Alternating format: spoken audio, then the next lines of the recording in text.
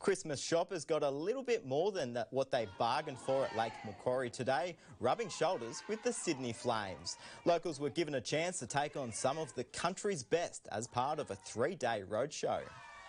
I'm from a small country town in South Australia, so I love getting out to the country. Um, you know, we don't get the exposure in country towns that, that the city do get of professional athletes. The Flames will wrap up their Hunter visit